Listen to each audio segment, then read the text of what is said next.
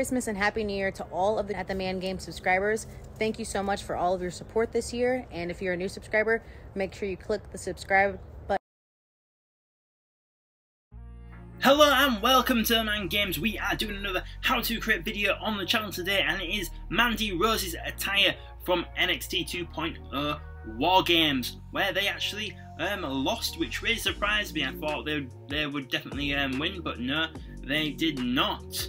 So yeah, we're going to look at how to create this attire of Mandy Rose today. If you are a new watcher of the Man Games and you do enjoy today's video, please think about subscribing to the channel. Also, if you do like this video, please click that like button and let me know what you thought of the video in the comments. Right then, so what we're going to do is we're going to go back. We're going to go to hair dye. So I, would say Mandy Rose's hair is a lot more black now. And when she first dyed it, it was like a like a darker brown. So what we've done is we've made her hair all black. So you want to um, hold the cursor down to make your circle bigger. X for, no, sorry, square to select the colour is just black. So we selected black, accept it, then zoom out by pressing L2 and then press X to dye the hair fully black so then it looks like that. So the reason why we do that is just so you cover more area at once just to save a bit of time. So then your Mandy Rose should look like that.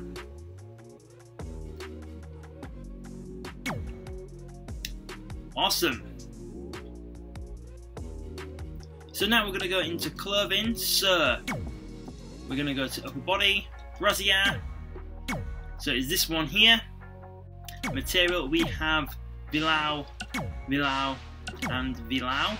And the colours are black, black and black. And then we've got this image here just to cover up the the um, the brassiere, which is that one there. So if we click on colour there, you can see that flashing there. So that image has covered the whole of it, so it looks like that. So the reason why we do that is just to give the attire more a clean, a clean finish, whereas on the brassiere before you would see, um, you know, different shapes and things like that. So if we do it like this, you get rid of them. Now we're going down to outfits, which is this one here. That one there. Material. So we've got Velour again, Velour again, and Velour again. And colours, we have black again, black again, and black again. And now into images, so we've got this image here, that one there. So click onto colours, you can see that is that image is covering up that part there, and obviously that wants to be made black. Second image, which is this one here. Same again, as you can see there, that is covering up that part there. And that wants to be black as well. And then we've got these two oval images here. And they are for the bottom parts, as you can see there. And the colour for them is that shade there. So that is like a skin colour, so it looks like obviously Mandy Rose's skin. So it looks like that. And obviously the other oval image is exactly the same, but on the other side, the exact same colour. So it looks like that. Awesome. So now we're going to go to the upper right arm. That one there. So as you can see is this one here. Material we have plastic and obviously the colour is just black.